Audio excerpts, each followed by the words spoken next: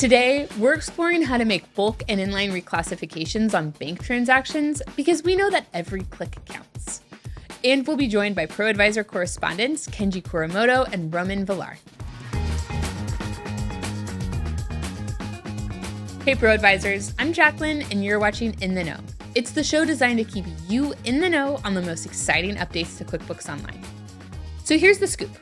We heard that it's time consuming to fix mistakes or make updates to bank feed transactions by opening them up one by one or by having to use undo.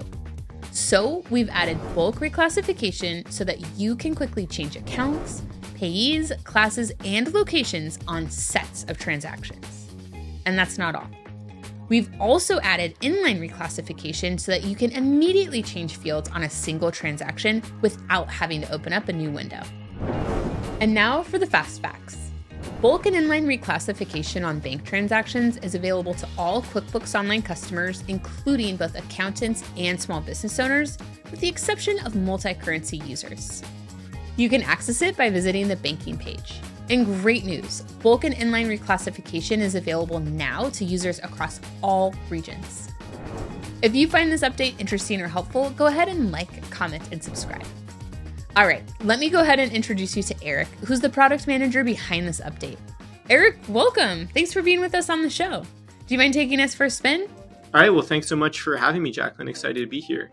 So now I'll walk you through the steps for bulk and inline reclassify, and it's quite straightforward and hopefully easy to pick up. So let's say I've got a bunch of transactions here, and maybe um, I'm a client or I'm someone new to bookkeeping, um, and I'm not quite sure what to do with the transactions. So I see them all right here, and I just press accept without really reviewing the payee or the category or anything else on those transactions. Okay, so now I go over to the categorize tab and I say, well, hold on a second, we need to make some edits here. Um, and so what I can do is I can start by selecting a bunch of transactions. By the way, quick pro tip, this is available across QBO, but you can see I did a shift click right here to select all these at once. Again, available across QBO, but especially helpful for this bulk reclassification feature. And now I can go and edit those transactions. And then what I can do is I can either select a vendor from my vendor list, or as I'm doing here, I can create a new one. Uh, and so here I'll create a new vendor for Target, um, and I'll save that. And then over here, I'll select an account from my chart of accounts. In this case, I'll pick job supplies and I'll press save. And then that's it. The edits are done and I don't need to do anything more. I'll show you, uh, and you can see right there, there's the target and job supplies reflected on the transactions. I'll do one more. Again, I'll shift click to select all these Amazon transactions, um, press edit. Again, I'll make a new payee here, but you can pick an existing one. By the way, uh, as I mentioned a minute ago, you can also edit class and location using this exact same window right here and then choose your account. And in this case, I'll pick office supplies and software, press save, and that's it. Now, what if I want to edit just one transaction or maybe two transactions and I don't even want to open that window? Then what I can do is just edit it there in line and that's it. It's done. And here I'll do the same thing with the account. All I have to do is type in a new account and select it and that's it. Transactions updated. I don't need to save. I don't need to open a new window. I don't need to open anything else. And again, this is going back to what we've heard from so many of you that every individual click matters, and we're looking to make this workflow as fast as possible. Uh, so thanks so much for watching. Looking forward to seeing your feedback uh, and hearing how we can make this even better for you. And thanks for having me on the show.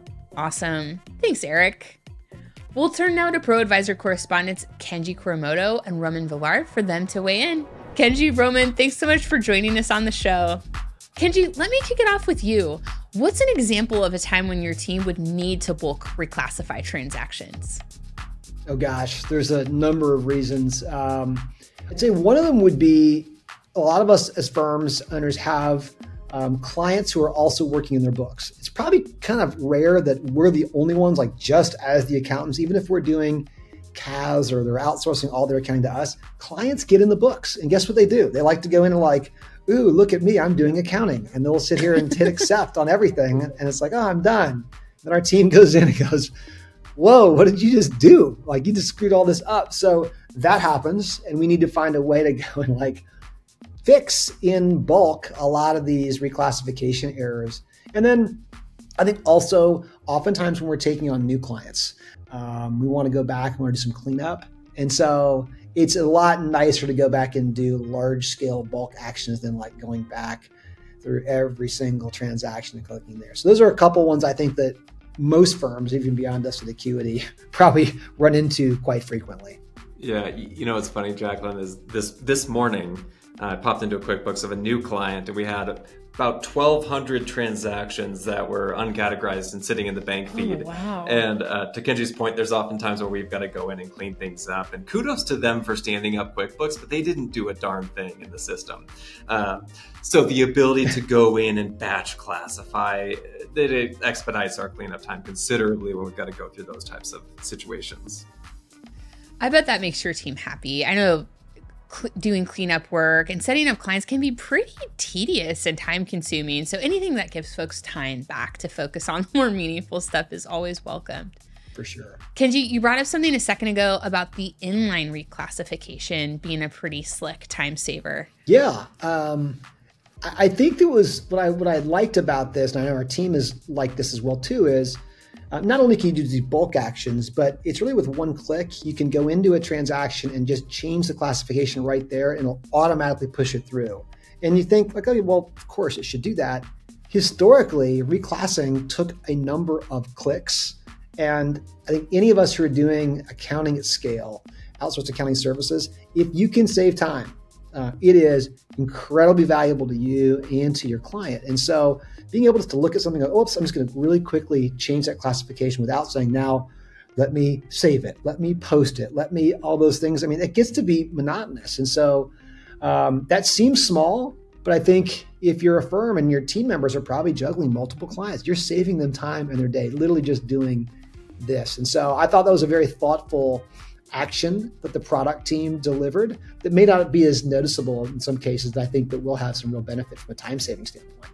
Oh man, well, that is the perfect high note to end on. this particular update. So, very exciting things about bulk and inline reclassification, and just love that. Uh, these are time savers that are ultimately going to help your team out and enable them to focus on more meaningful client work. So, I'm glad that the show can be a small part of that.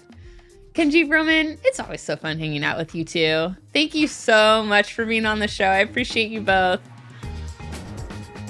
And thank you for watching this episode. I'm Jacqueline, the host of In the Know and leader of Pro Advisor training and certification.